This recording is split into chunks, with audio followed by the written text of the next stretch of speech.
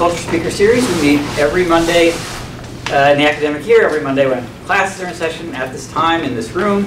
Uh, and uh, if you enter the letters UCLA BEC into your favorite search engine, uh, you'll find our website. From there, you can navigate to the page that lists upcoming talks. Uh, at every talk, we circulate a sign-in sheet. Is that somewhere in the room? I'll get it. Okay.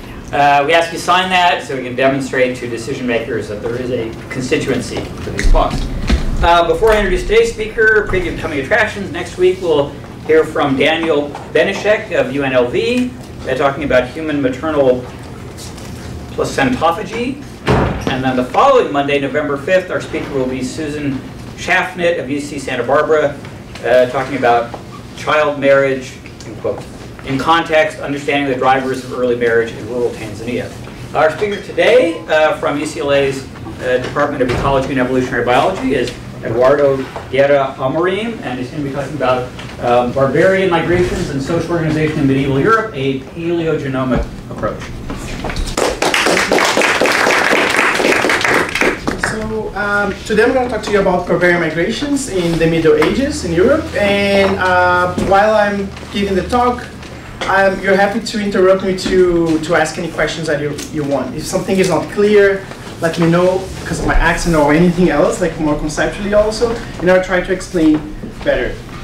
And um, so this work that I'm going to present today is uh, resulted in a paper that we published about a month ago in Nature Communications, and this, this is the title. And this work was done uh, while I was a postdoc at uh, Stony Brook University, and now I'm currently at UCLA. And this was my advisor. This was another uh, key collaborator of us. He was here at UCLA before. Now Patrick Geary is at the Institute of Advanced Study. And those two guys here, um, uh, Stefania and Cosimo, are first co-authors with me. So this is a little picture of our uh, team. And uh, just a little bit about me, just one slide. Uh, I study population geneticist, and I study genetic variation to understand four aspects of evolution. One is uh, local adaptations in humans. For example, when a human go to um, a new environment, what happens with the uh, genetic variation? Um, another thing that I study is mutation rates. I use uh, humans and other primates as well. And here at UCLA, I'm studying deleterious variation associated with uh, disease, for example, in dogs but I also studied that in humans. And um, today I'm going to talk to you about those fourth, about this fourth uh, aspect of my study, which is history reconstruction. Is where I use uh, genetic uh, diversity in human populations to understand uh, social and historical processes that happened in the past. And the talk is divided in three uh, parts. First, I'm going to talk about the Middle Ages, then I'm going to talk a little bit about the technique that we use to study the Middle Ages, which is, which is ancient DNA. And then the last, I'm going to talk about the paper, which is, should be about half of the talk. So let's talk about the Middle Ages. And just a curiosity for me, actually, uh, what, what do you guys think when I say Middle Ages? What type of stuff come up to your mind? Uh, some event or some characteristic? Uh, Cattles? Yeah. Plague. Plague. Plague. Feudalism. Church, no, noble. Feudalism. Feudalism. I um, I am recently started to study the Middle Ages, and uh, I've been.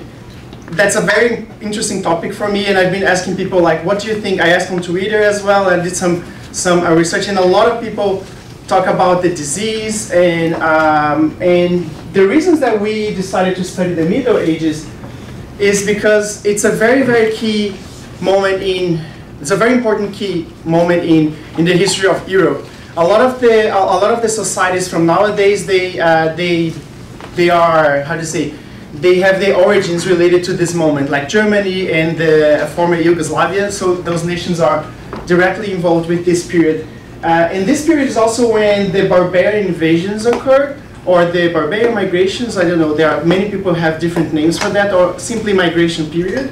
So those, um, and also the Black Death, there was also another episode of the plague, which was in the around the 6th century, which was the Justinian plague. There was also outbreaks of um, leprosy. And related to the Black Death, the population of Europe decreased in half. So 50% of the people died at that time. So this is a moment of in Europe that a lot of transformations are, are happening in the biology of the of the humans that are living there, but also in the society and politically and so on. So it's a it's a um, it's an interesting period to study. And traditionally, we studied this period using three sources.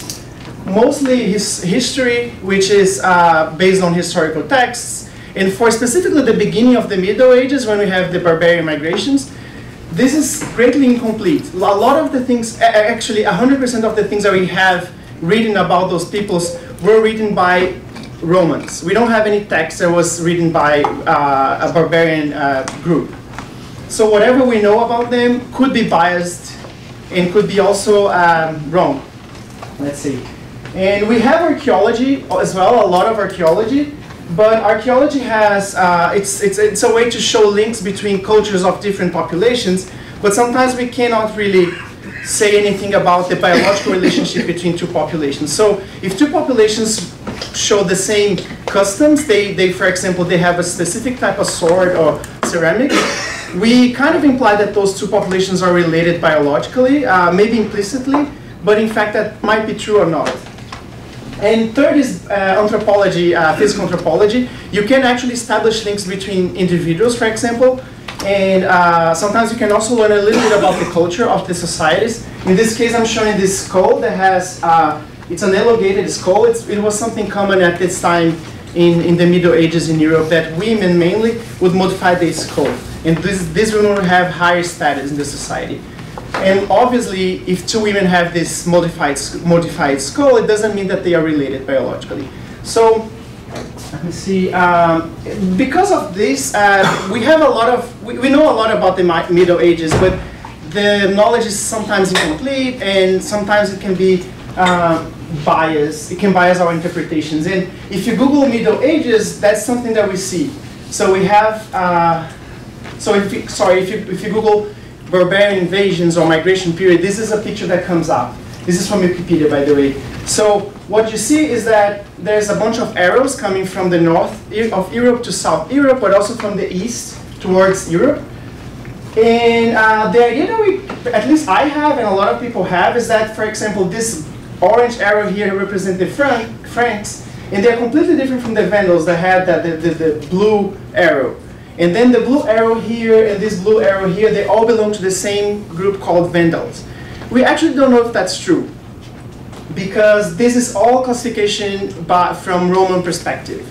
And uh, that might be true or that might not be true, we don't know. So the idea that we see is that those are very homogeneous people and they were uh, different people with the same name should be the same group. What so are, what are the scissors? I don't know where the scissors actually. So it's their battles, their cross swords. Oh, I thank you. Ah. okay. That's my interpretation. That's Yeah. right. Looks, yeah. I never, uh, I saw that, but I usually just skip that. Thanks for noting.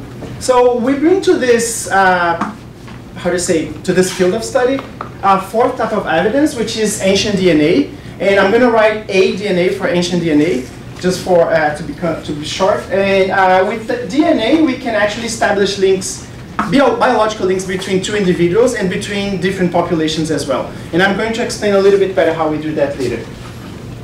Uh, so that's cool, right? Like we have DNA, we can establish into a new population. Let's see if Vandals and Vandals are the same people or not, and um, and so on. But uh, we don't have a lot of things going on for ancient DNA in Middle Ages. This is a figure from a paper that was published about a year ago, and it shows the origins and the age of, ancient DNA, human ancient DNA studies around the world. And each red dot, I don't know if it's clear here, but you see there is a bunch of red dots here in Europe, and a very few other dots around the globe.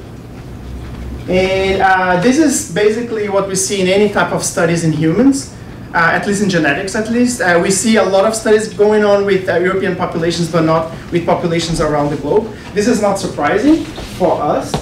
The surprising thing for me at least is that if you only look at the blue part of the chart, which is uh, population, uh, let's say samples that were collected from the last 200, um, 2,500 years, all of them come from outside Europe.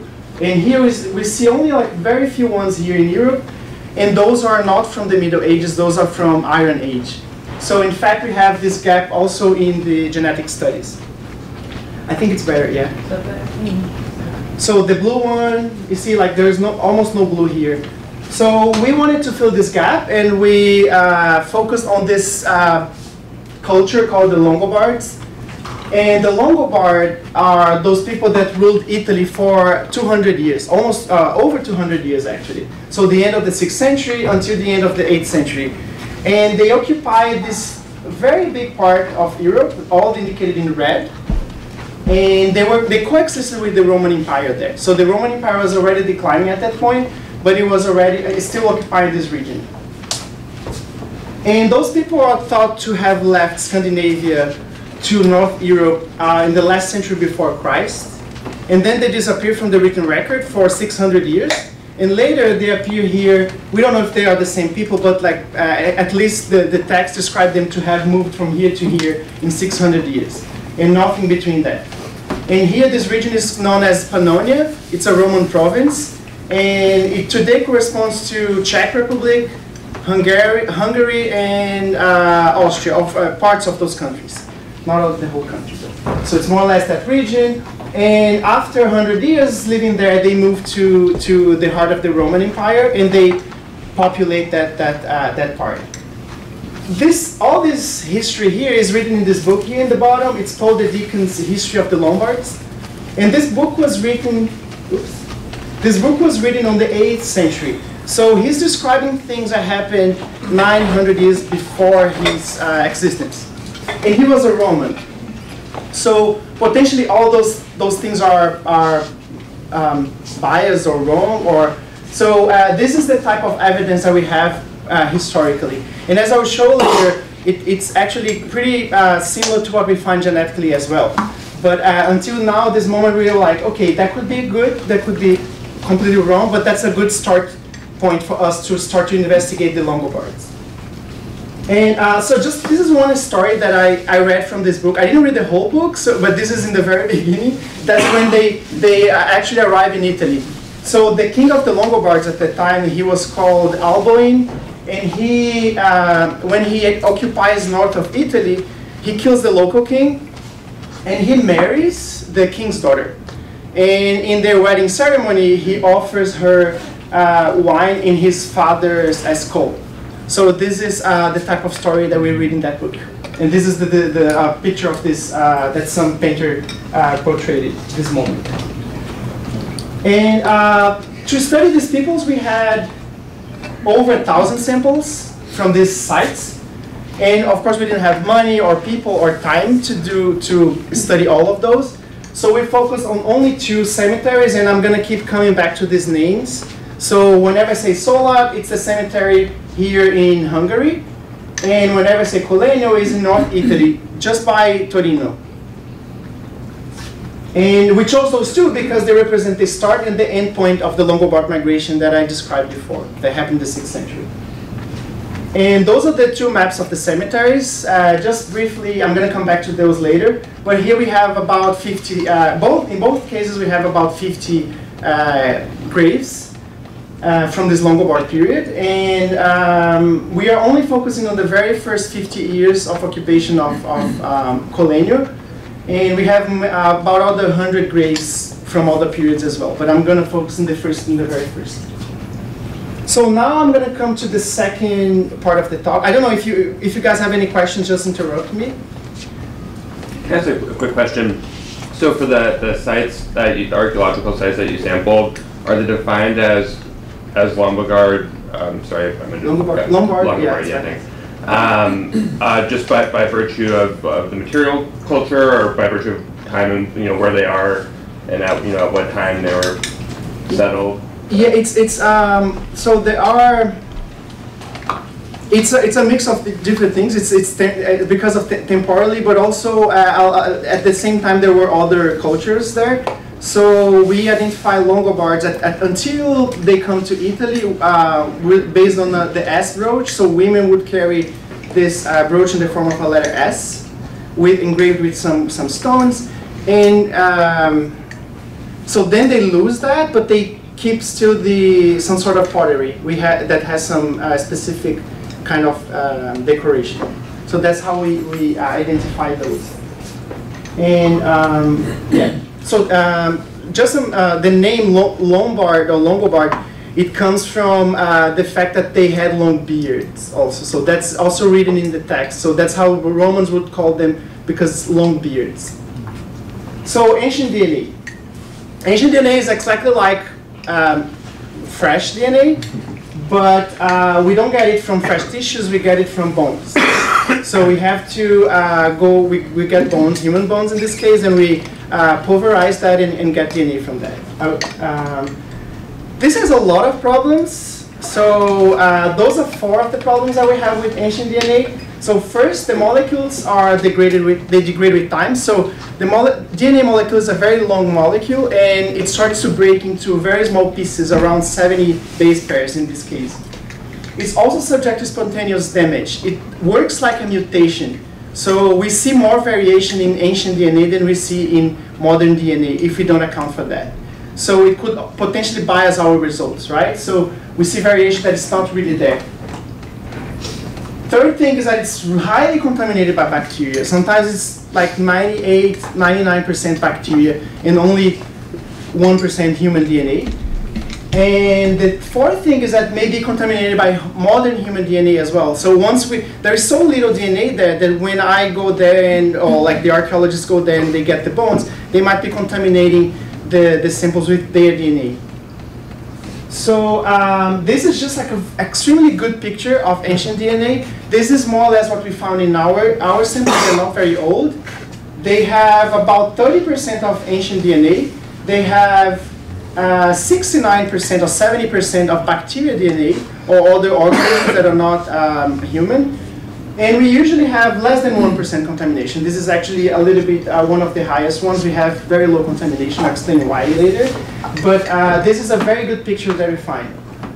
And uh, one of the ways to control for that and to increase the, the success of finding human DNA in these bones is to is by uh, studying the petrous bone. The petrous bone is this area here in the in the skull, and if you take that area and you you look for the cochlea, which is more or less this region here, and then you will see if you uh, the bone is usually very brown because of the earth, and it also indicates that it's full of bacteria. And once you pierce, once you drill into this region and you find this cochlea, it's a very hard bone. It's very dense and you can uh, you can see that it's very white, so like beige or white. It's very it's very light, so it indicates that it's not exposed to the environment. So it's also less exposed to to bacteria. It also less porous because it's very dense. So also bacteria can uh, come in through this pore pores. So it's a very uh, a lot of people use teeth or femur, but it's very good if you use the petrous bone because of those reasons. So I just put here a little summary they are dense and hard. They don't. They um, they're not exposed. They contain more DNA, and they uh, also have more endogenous DNA. So this is also like a jargon. Endogenous DNA means human DNA as opposed to bacteria DNA. So um, this controls for well, this helps us to deal with number three and number four. And uh, there are other ways to deal with those as well. So number three, we can also correct with the bioinformatics. So I have the human reference genome, and I align everything that I sequence from that sample to the human genome. Whatever doesn't align, I, I remove. So there's another way to treat that. And also number four, uh, I, we can correct by um, using uh, ancient DNA dedicated labs. And this is one example. So this is one example actually that someone that did our uh, one of our work. So he's writing this code and he's using this like this glass box where there is no air coming from outside to inside that is not purified. So there is like a, uh, a bunch of air coming uh, from out, from in to out, but always purified, so it, it prevents contamination. And um, the, the two first points actually I presented as a problem, but it's actually, it's kind of like uh, also good for us because that makes us discern what is ancient DNA and what is modern DNA. And I'll explain a little bit better. So one thing that I told is that the ancient DNA, they are smaller than the modern ones. And this is just a stupid example. I just put a big molecule that is modern and a small molecule that is ancient. So when I align, when I sequence all those, I don't care if it's long or short. But when I get the sequence and analyze in the computer, then I see which, are, which ones are small, which ones are largest one. I usually see two peaks in the distribution and I just focus on the first one and I ignore everything else. With that, I'm, I'm removing things that are for sure ancient DNA, but there are still things that are modern DNA that it's very small by chance. Not a lot, but there is some. So what I do is that I see that, that molecule and I say like, is it just like a bunch of contamination or is it ancient DNA? To do that, I align that to the reference genome and I call variants. And as you would expect, mutations they usually occur randomly in the genome. So you would expect mutations to occur in that read that you sequence, also randomly. If they don't accumulate randomly, but they accumulate more often, for example, a G to A transition accumulates in this end of the read, and a C to T accumulates more often in this part of the read, then you know it's ancient DNA. So the, the, the, the ends of the molecules are more subject to this um, spontaneous damage. Uh, so that that uh, some people say smiley pattern. I don't like that. So th this type of like this type of pattern is actually very nice when you see that. Say, oh, that's fine. This is ancient DNA. Uh, when you come across a T or an A on the end, how do you know that it's due to a damage to the molecule and not just part of the original base pair? Yeah, we were discussing about that yesterday. Actually, like we don't know if it's uh, it's if the individual had that or not, but um, we there are different ways. To, there are at least three ways to correct that we employ, but basically one thing that you can do is just to ignore everything that is in the end. So, um, but you might lose a lot of things. And also these mutations are always transitions. They are never transversions, so there are different types of like C2A is a transition, but sorry, G2A is a transition, but G2C is not a transition. So you can also eliminate those because those are also more prone, they are the only ones that are actually spontaneously mutating. So, but then you lose a lot of variation as well. So there are different ways to, to, to correct for that. But one lucky thing is that this is only one read. It's usually 70 base pairs, okay? So the read is covering one position that it's variable, and you don't know if it's, um, um, let's say it's in the, in, the, in, the, in, the, in this part of the read. So you think it's a, it's, it's a damage. You don't know if it's damage or not. But you, you might be lucky to have another read aligning here, and, and then it falls in the middle. Then you have more certainty. And there are many algorithms to consider where in the read it is and how it is going to be called as variant or not. Someone has a question as well, I think. No? No. Um, okay, so now let's go to the third part of the talk, which is when I talk about the actual work that we did with the Longobards. And uh, just a recap here, those are the people that I said like, ruled for 200 years, and they came from north to south Europe. And uh, again, like I, I, chose those two cemeteries because they, they correspond to the beginning and the end of the Longobard migration. And this is the map that I showed before, and here's some information. We have 45 graves for Szolad in Hungary and 55 for Collegno in Italy. We generated two types of genetic data. One that we call SNP, which is uh, single nucleotide uh, polymorphisms, and we generated 1.2 million. And the other one is whole genome sequencing, which is basically I sequence everything in the genome if, if it's variable or not. And they give different kinds of information, but I basically use um, them as, uh, I will explain how I use them in the next slide. So this is a SNP. So we have a human, we have three humans here, and they have the DNA.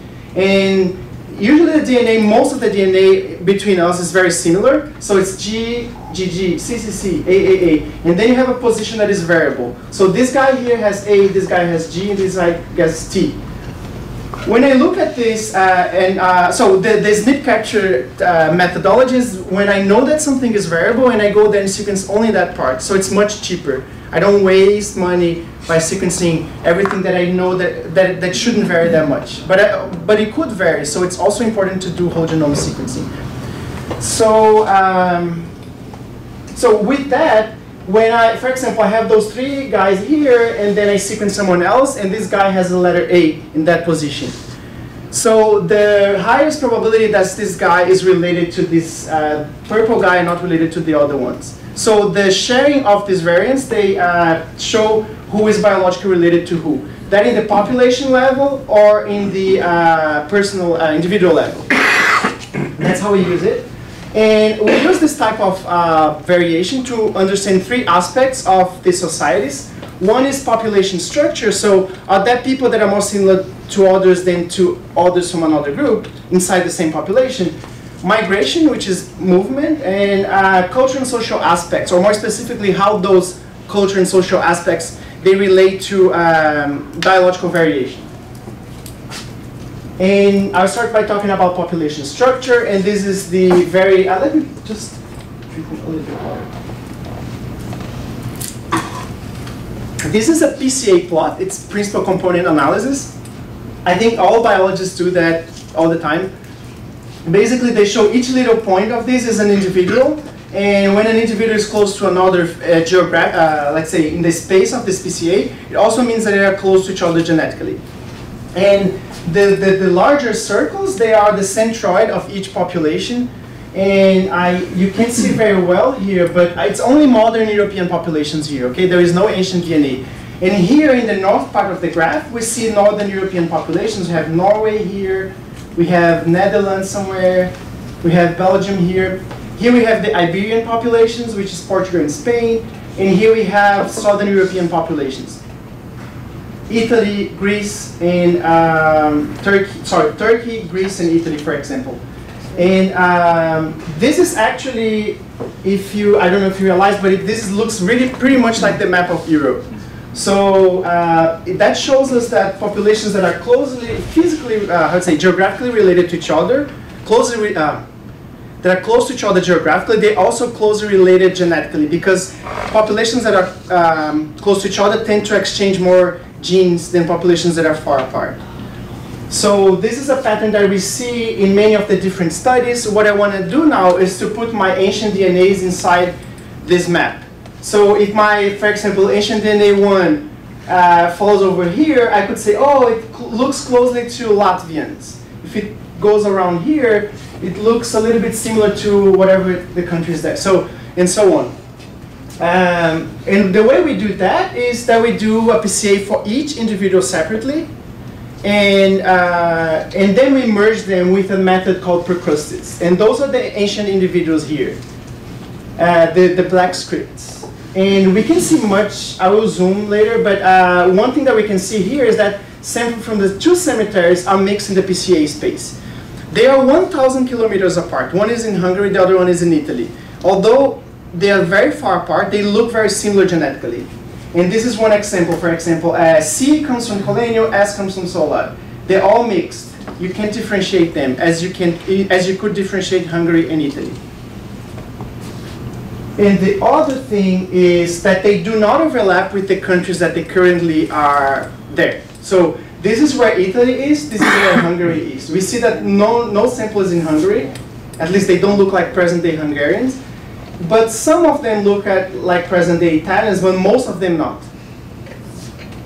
And uh, that could be because of many reasons, we can discuss that, but uh, one of the reasons for that, and that's the one that we pursue, is that they uh, migrate from a similar source. So, and that source could potentially be North Europe, because that's where those people look more similar to. Yeah, that, uh, so one of the questions that when we were publishing that the reviewers asked is, you're assuming that Europe didn't change in this time, in, in 1500 years, which is a possibility, yes. We don't know if that, that's true or not. But uh, Europe has maintained, uh, when we use ancient DNA, there is a, there is a way to, to see if these shifts happen. We have some sort of uh, northern ancestry, that is the hunter-gatherer ancestry, and we have the southern ancestry that it's more related to uh, the farming that came from, through, through the south. So we can actually see if those things change across time, and it haven't changed much in 1500 years. Can I ask something? Yeah, Uh, So you have uh, more than a million SNPs for these individuals, right? yeah. Uh, And they, uh, they come from a SNP genotype, SNP genotype. Why didn't you uh, reanalyze modern and ancient samples together and you, instead you projected? Oh yeah, I didn't do, so the way we do, we didn't project. I, I, I might have said that more um, as a, for, for, to make it easier, but what we did is that we we do um, we do a PCA with how many uh, markers we have for that sample, and we get only those markers from the modern populations as well. And then we merge them with Procrustes, which is basically like trying to fit two, two, two or like 60 graphs on the top of each other. But um, we did um, we didn't project. So this is actually very interesting because it actually agrees with, with what Paul the Deacon described, that these people migrate from North Europe to South. That would be, uh, we were very happy when we saw that. The third thing from the PCA is that each cemetery, they, well, each cemetery have as much genetic variation as, as we currently see in, in Europe. So those cemeteries, they are very small. As I said, the Szolad is 50 graves. And they were there for one generation. I'll talk about that later again uh, as well. But um, they have so much ge genetic diversity there. We were also puzzled with that, like how come that they have so much uh, diversity? So one thing that we do, oh sorry, just so I explain, most of the variation in Europe, Europe we see from north to south. So within one cemetery, you see as much variation as you see in Europe from north to south.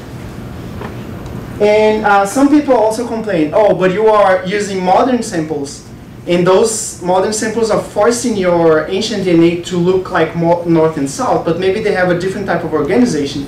So what I did is that I only, so this is the PCA with the uh, modern samples, and I cut it in four, uh, sorry, three parts, north, central, and south Europe. And then I rerun the PCA without the um, mo uh, modern samples. And what we see is that the blue guys here are always uh, in the top and the red guys are in the bottom and the pink guys are in the middle. So it actually, even without the modern samples, we see this structure north from south in the cemetery and we're not forcing that. So we took advantage on this north to south uh, cline and we estimated genetic admixture. So it's basically seeing which, what is the uh, genetic component of each, uh, genetic ancestry of each individual. That's like 23andMe or uh, Ancestry DNA. They do that for, uh, for modern people. So we did that for ancient um, samples. And what we see is that most of the ancestry comes from North Europe. Some of the ancestry, like one third, comes from South Europe, and some come from Iberia, but very small. And uh, this is this is okay, fine. I started to put like who is blue, who is red in this in this plot, and what I found is this. Um, the ancestors are not randomly distributed in the cemetery. So if you had uh, the blue ancestry, the north ancestry, you would be buried in this part of the cemetery, except those two women. And if you had the southern ancestry, you would be buried in this part of the cemetery. That's very clear in Szolad. In Collegno it's less so clear, but still you see some kind of like pockets. And um, I'm not saying that they knew genetics, but they knew something related to genetics that differentiate them. Could be something visually, they could look different. We tried to see if they had different skin color or eye color or something like this. We couldn't do that. They all have blue eyes. Uh, we inferred them to have probability. A lot of them had blue eyes and some had brown eyes. Uh, skin color, they look the same as well. And for other types of traits, we couldn't recover. So it was probably not something like that. Could be culturally as well. So people already joining this community looking different. And could also be that those are actually two different cemeteries from two different types. And to test that, we uh, did carbon dating. And we found that they actually from the same, possibly from the same uh, uh time, and uh, there are some graves that came after them, and I'm not including them here, so they are temporally clearly different, and some that came before them also. So we have like Bronze Age, and we have Avar, which are all the types of um, uh, barbarians, I would say, uh, that occupied before and, and later. So they are actually from the same period, and they were structured that way at that time.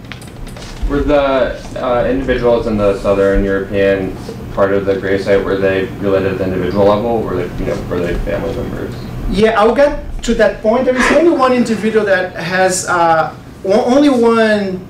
We didn't sample all of them, okay? I'm just like putting the, the, the blue thing. So there could be one or other individual that I missed. But the only individual that has a family member from the southern group is actually this woman here, and she's buried with the other guys. So her daughter is here, in, right in the line, and she is here. So yeah, that's one thing that we don't see families in the blue in the red side, except this one. And uh, we were tempted to say when we were, well, when we was discussing with my advisors, we would say, oh, those are the, because they had servants at this time. They were also considered family in like social way, not in a biological sense, but so they had these uh, servants and people were saying, oh, maybe those are the servants. And then our team is actually, half of us are, uh, we are 24, 25 people. Half of us are geneticists and half are not. Mostly uh, archaeologists, but some historians. And they say like, no, how can you actually say something about status? Although those, well, um, I- I'll get to that later, actually, but um, that's a surprise. But um, yeah, so we don't know why were they were structured. We can't say that with genetic data, basically. The next point is migrations, and about migrations, I have I talked briefly about long distance migrations, right? When I said that they migrated from the north to south. Now I'm going to focus on uh, more regional patterns of migration. And um, to study regional patterns of migrations, what we use is uh, strontium. I don't know how to say this word in English very well, but that's how you read. And uh, this element, it's in nature, and it has, it's an atom, and this is the uh, periodic table. So strontium is, is here. And uh, it's in nature, so, and there are two forms of this, of this atom, the heavy and the light form. And um, so the na- nature has each each place that you go potentially have a different proportion of light to heavy. So and potentially not, don't vary also. So but by analyzing the environment, you you get what you say. It's a strontium signature. So it's the proportion of the heavy divided by the light atom in each of these elements. You can you can analyze water. You can analyze uh, soil or plants or other animals or, and also humans. By comparing humans to what you- you find in the environment. By drinking water, when we are developing, our teeth are very uh, porous. Let's say it's permeable to this element, to this atom. So we start to incorporate this in our teeth. So by drink, you know where the person was actually, uh, where these persons that we're analyzing, they grew up. Because you know where, um, how do they, so when you compare human teeth to, to the local range of strontium, you know who is not local. So this work was done all by uh, Susan Hakenbeck in the University of Cambridge. And some of the data we, we got from another paper. So I'm, I'm not directly involved in this strontium uh, uh, analysis. But uh, the data that she gave me is basically, uh, she gave me for each individual. So each point of this we have um, uh, teeth of a person. So some people we have two teeth, some people we have only one. And we have the, the proportion of heavy to, to light atom here on the y-axis. And here she, she told me who is a subadult, who is a female and male, and who is from Collegno and who is from Szolad.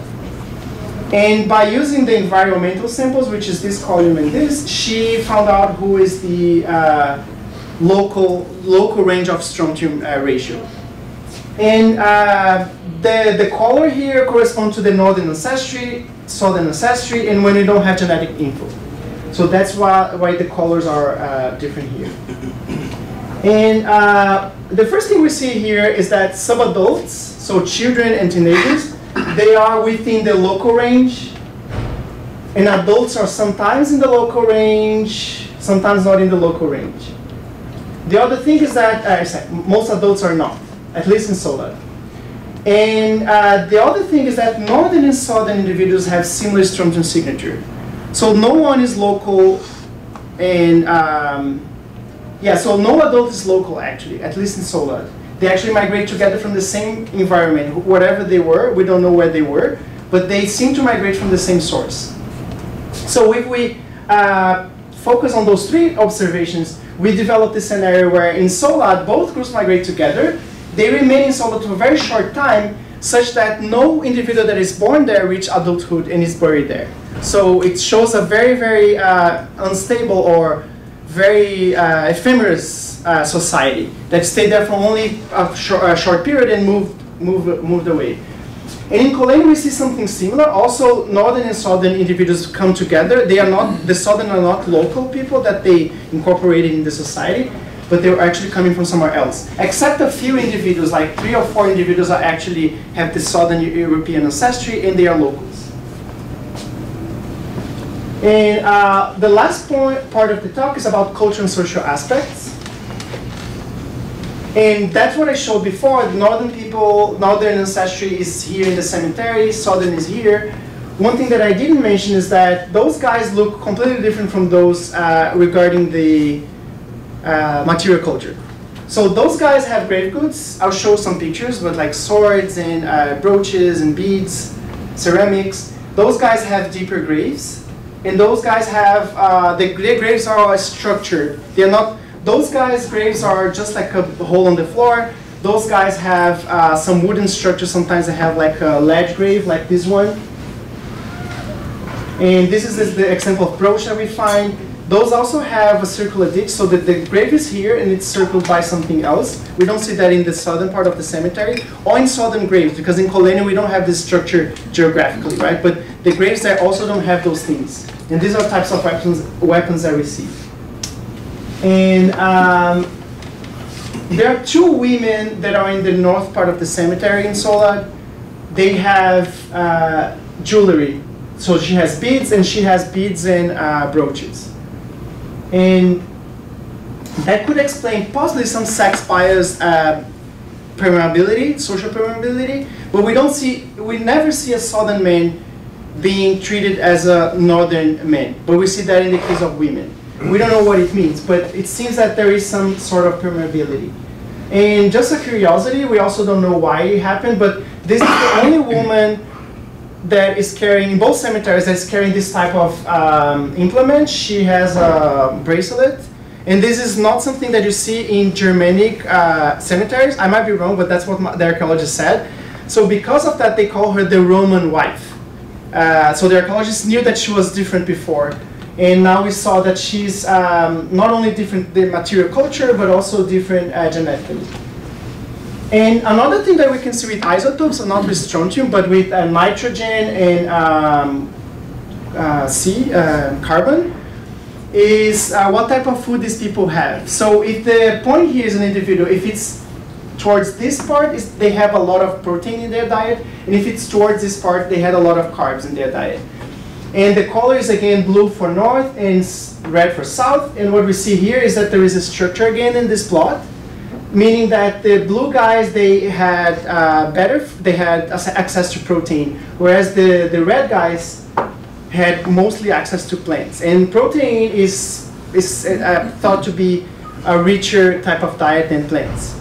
It's more, it's harder to get and etc.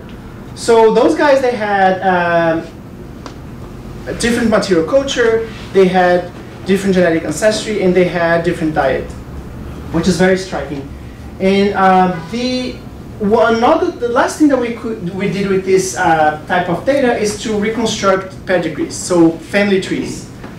And those are the two largest example of families that we find. We have three um, uh, generations, yeah, and uh, this is uh, the, the blue individuals are the ones that have a northern ancestry, and the gray ones are the ones that we couldn't sample, but we could infer that this guy needs a mom, this guy needs a father and a mom, and etc. And um, the other thing is that family members are buried next to each other always. That also happens in Collegno. So those yellow circles are family members. Those are the, the, the northern woman and her daughter here. And uh, so the, it, this is always uh, something that happens. And the other thing is that don't, we don't see a family, uh, let's say, a, a, woman and a guy that have a, a, woman and a man that have a child, and the woman we have evidence that the woman was from one group and the father was from the uh, the mother from a group and the father from the other group. So we don't have this evidence that they this group actually in, uh, mixed uh, genetically. One, one thing about this family that we were very curious and we were, oh my gosh, it's so cool, uh, but we couldn't interpret what, what, why is that happening, is that if you see here, the circles are women, and we only see one circle here. We see only men that were buried in the cemetery. So uh, we first we said, oh, where are the mothers of this family? We don't know, basically. Uh, we, we could. There are two samples that we didn't sample, and they could be the mothers, but that could be also some sort of uh, showing that the mothers wouldn't migrate, or I don't know what it is. But uh, that was something puzzling that we, we found, and we don't, don't discuss that in our paper because we don't have a lot to talk about that. So just to conclude, uh, the two Longobard cemeteries are genetically indistinguishable, although they are 1,000 kilometers apart, which is uh, surprising, indicating possibly that there is migration coming from the same source. The two cemeteries, they have, they're both composed, each composed by two groups, and each group differ uh, in genetic ancestry, in material culture, and in diet, indicating possibly a social structure. And the third is that biological relatedness was an important structural element in the societies. We don't know if they were aware of that, but something related to biological relatedness was important to structure who is going to receive which type of treatment. And when I say biological relatedness, I mean genetic ancestry, so belonging to like ancestry groups, the same ancestry group, or first degree relationships, like parent and child.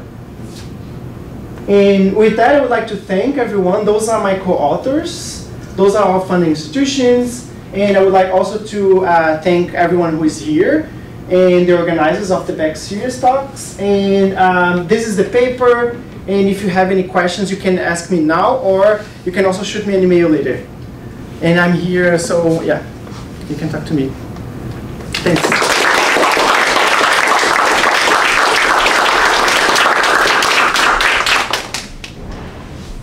Does anybody has any questions?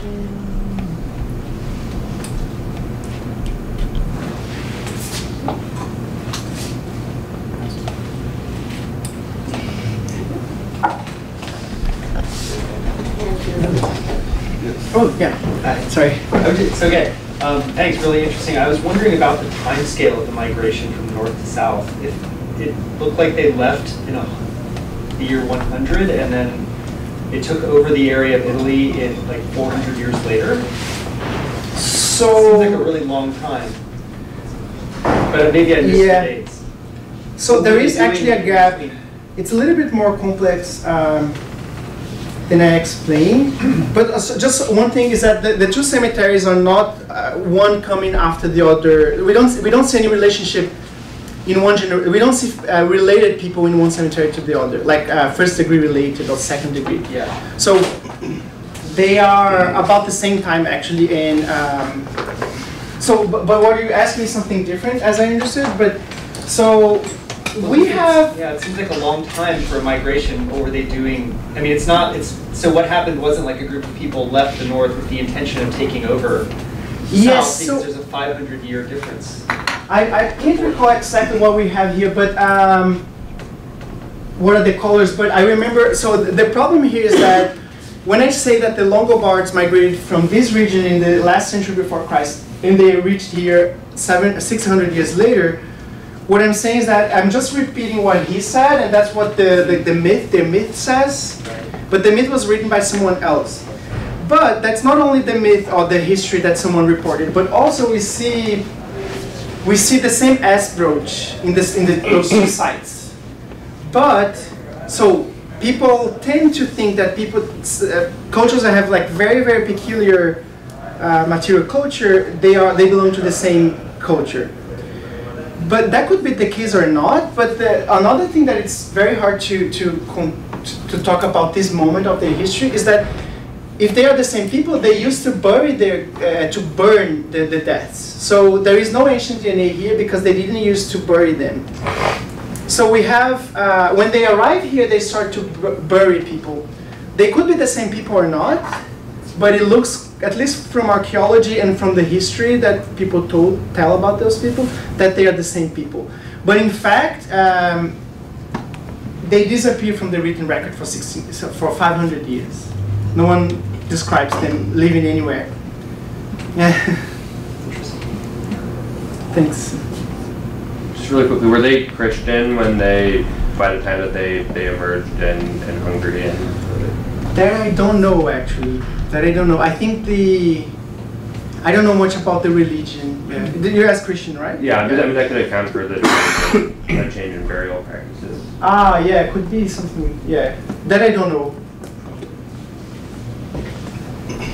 Well, first of all, uh, thank you for a great talk. Thank you. Um, Just a question, if they're migrating and you said that the myth was about uh, killing their king and all that, Yeah. supposedly there was violent confrontation.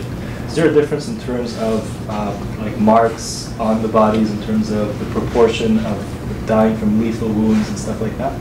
Yeah, so I yeah, so I, I analyzed I tried to analyze between cemeteries and between uh, groups, the northern and the southern group, and I didn't see any difference related to that. So there are some injuries in both groups, but there's very like a very few individuals have injuries, not not a lot of them.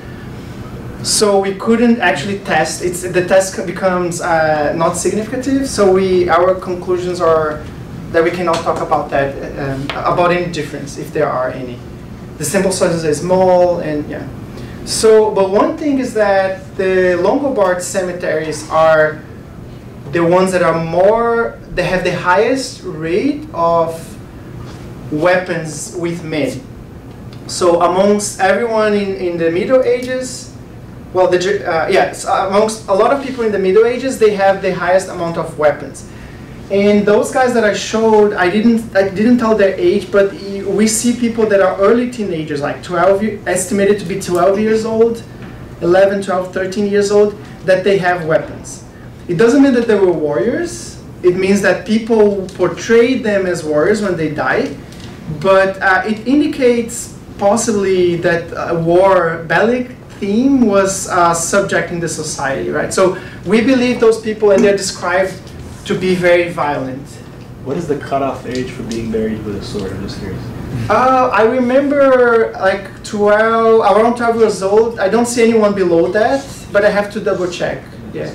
But the girl that has, the only girl of the family, she has, uh, like all the adults would have, um, yeah, with the, with the necklace.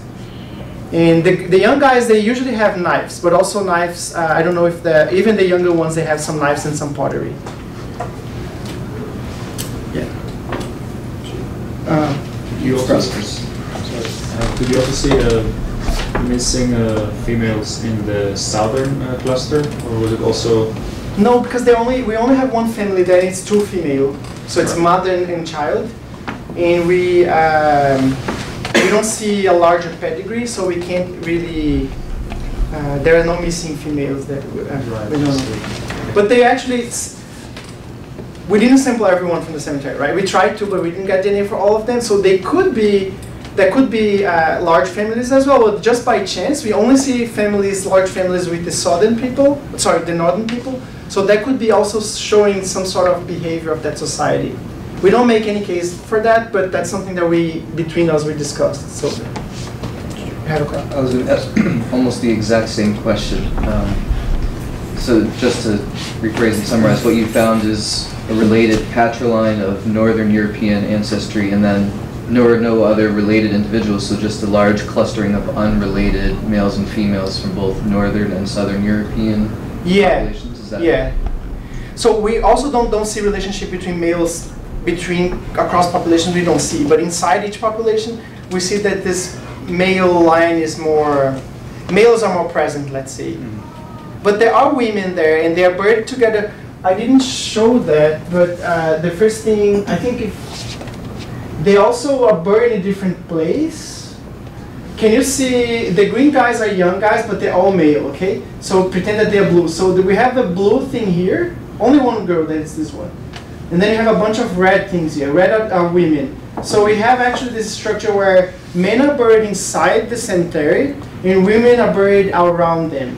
That's only in Szolad. In Collegno we see it's, it's already, this disappears. Um, so there is something about gen, uh, like sex or gender, I don't know. But, um, but So that's the one where more of them had strontium that suggests that they were migrants to the area. Yeah, so we don't see any adult that has a local signature. So these are all foreign males who are, or a larger proportion of foreign males who are all buried in a central location, women buried in a circle Yeah, around. but also the females are not local here. Right. So the, like the whole population is not local except the children. Okay. showing that they were just moving by, right? Uh, I think Julie had also. Um, uh, So the way you have the spatial segregation in the cemetery of um, the sort of northern versus the southern, you sort of alluded to the idea that there is, um, the more more southern population might be um, a lower social class. Yeah. Um, And so I wanted to know if it- if there were, one, um, evidence in this historical writing about there being like a servant class, or if there's an alternative explanation that isn't based on social class, but maybe um, a different cultural group or something. I was just wondering if you could speak to those. Yeah, so the um, Patrick Geary is in the uh, is the, the the lead historian of this work, and he we he told us that yes, they, they were they had servants. He's specialized in Middle Ages. So he they had servants, and then we were tempted to say the servants are the guys that don't have weapons or jewelry, and they have like simple graves.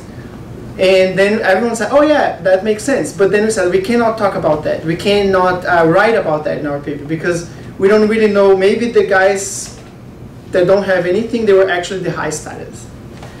It's unlikely, but uh, oh, well, I think it's unlikely. But we don't have any. We don't know how those people because status is, some, is how the society sees the uh, members of the society, right? And we don't know with that about with genetics. So in our paper and in our talks, I try, we try not to talk about those things um, to conclude anything about that. But it looks to me, they had servants, we know that. It's just described that they had.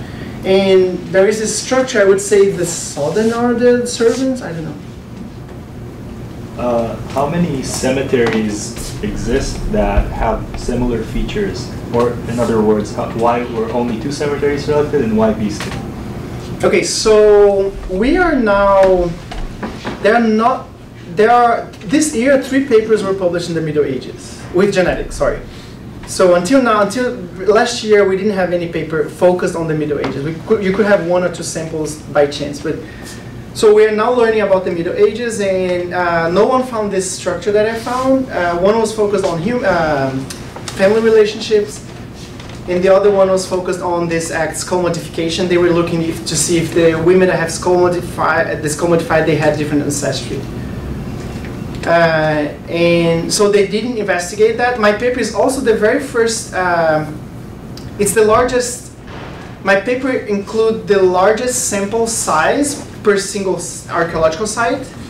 So before my paper, she's a specialist in ancient DNA as well. So I don't know if she, um, if I'm correct or not. But I, I think before my paper, people would say, people would have only two or one or four individuals per population. So it's very hard to find um, structure. It, it's, it's hard to, it's not a population, it's just like a very small sample size. So my study, we tried to f- change the, my, my advisor was the idea of my advisor, but we tried to change the focus from this very uh, broad scale migrations to something very small and local scale, and we tried to sequence the whole cemetery. So actually, there could be all the cemeteries the same structure, but we don't know because until now no one studied them.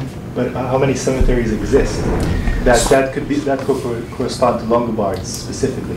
Uh, We have, um, we have some, like thousand samples. I don't remember how many cemeteries, but each each of these, uh, each of these green and blue things are one cemetery that we could. They're associated with Longobards.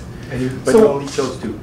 Sorry? You- Oh, yeah, so we chose those two because of the beginning and end of the, of the migration. If we had samples from the one in the north, they have cemeteries there, but they have just like, a, uh, they were, they burn people, so we don't have bones, we have only the material culture. Uh, so we couldn't get DNA from there, otherwise we would have gotten, but then we, we just said, let's focus on two cemeteries and see this broader scale migration, but also some things uh, inside each one of them. What we're doing now is, well, I'm not involved anymore in this project, but what we're doing is that we, Collegno was occupied for 200 years, more or less, and um, we have samples from uh, three periods of occupation. We divided those 200 years in three point, time points, and we only analyzed the very first one because we wanted to see the relationship, we wanted to find relationship between those two cemeteries. Now what they do is that we found that there is a structure. This structure is kept uh, throughout the time or not. That's one question that we're trying. They are trying to, to address. The other thing is that we are not focusing anymore in, in Longobard. We are focusing on other cemeteries in Hungary. And there is DNA for those cemeteries and they're no longer part. So we are also trying to see if this structure exists there. So they are earlier period from those ones that we're analyzing here and we will see this in the next few years, I would hope. Purely out of curiosity, how do you get permission to dig up a, a cemetery? So I, we, I'm currently working with another cemetery, and it was um, I'm not sure how those things work. I think for Native Americans, uh, you need a lot of um, authorization because people, uh, modern people, they know that they are related to those bones to, to the society that those bones belong to. So we, you need author- authorization of a modern society that's linked to that. But in case of Europe, also specifically, one time I was talking to my advisor because a lot of in, in these talks people would say, what about okay, you describe what happened until now. What happened later? Where is the Longobard genes right now? And it's like, let's don't go there because then if we go there, everything yeah. he, he didn't want to go there basically. Uh, but we have two. We work together with two big groups of archaeologists. One is I don't like to talk about that. Like it looks like they own the, the samples, so we have to talk to them to get the samples. I don't think they own. I'm not saying they own, but um, we have to talk to the people that actually, the scholars, the archaeologists that actually, quote unquote, won't own the samples. Yeah. Yeah. okay. Thank you.